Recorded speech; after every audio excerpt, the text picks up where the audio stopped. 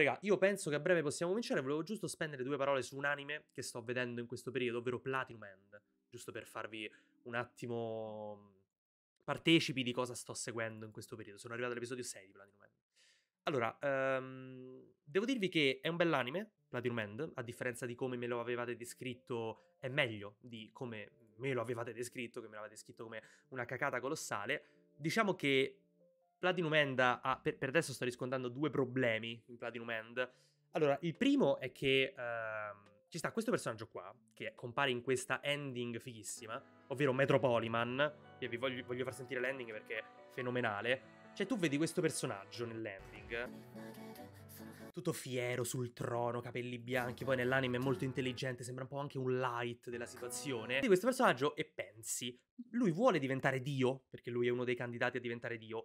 Quale può essere la motivazione che lo spinge a fare questa cosa? La fama, il potere, un nuovo mondo, un qualcosa di incredibile che noi umani, noi persone normali non possiamo comprendere. Invece no, spinge Metropoliman a, eh, a voler diventare Dio con tutto se stesso, è la sorellina. E io, regà, cioè, non ce la fa. Nel senso, mi dà fastidio quando. Eh, non è che. Non dico che sia una motivazione brutta. Però è una cosa già vista. Cioè, il fatto che ci siano personaggi che hanno il complesso con la sorellina è Code Geass. È il cazzo di Lelouch di Code Geass, che è un personaggio bello, ma che deve. Uh, non lo so, risulta una mezza merdina quando si tratta della sorellina del cazzo, Nanali, come, Nannali, come si chiama. E boh, me lo, un po' me lo, me lo fa calare, non, non, lo so. Purtroppo quando ho scoperto questa cosa lo faccio per uh, mia sorella.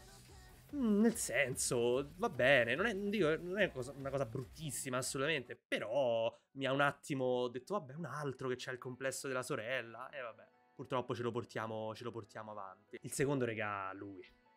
Lui. Il protagonista. Non ce la faccio. Regà, il protagonista di Platinum End è una delle cose più cringe, più fastidiose che ho mai visto. Ora, ripeto, non ho visto gli ultimi episodi, sono al sesto episodio, ma le motivazioni, le cose che dice, le cose che fa... Mio Dio, voglio morire quando lo sento parlare, voglio uccidermi.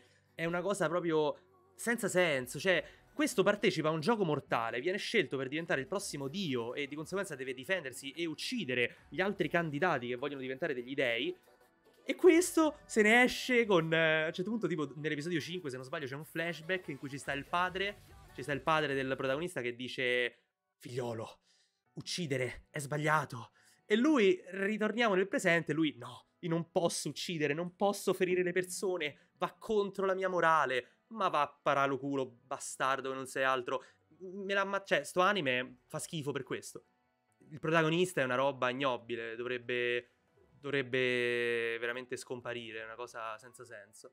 Quindi è un bell'anime secondo me Platinum End, cioè è una bella storia, le cose che succedono sono fighe, ci stanno delle belle OST, ma il protagonista è una cosa fuori da... non sta né in cielo né in terra. La trama vista e rivista alla fine è un death game che sì, devono uccidere gli altri candidati, però è figo, cioè io me lo, me lo vedo volentieri perché mi interessa. Anche la cosa dei Power Ranger, che io credevo sarebbe stata una cazzata, non mi pesa per niente alla fine. Il fatto che indossino delle tute per non farsi riconoscere non è pesante per niente, ma, ma il protagonista io spero che abbia un, un rinsavimento, un qualcosa, perché attualmente è, siamo a un livello di, di demenza veramente non me lo spiego. Cioè, vogliono tipo tirar fuori la morale da, da, da, da come si comporta il protagonista, ma non, secondo me è proprio. Cioè, non c'è nessuna morale da tirare fuori, è un comportamento proprio da, imbecille, non, non lo capisco.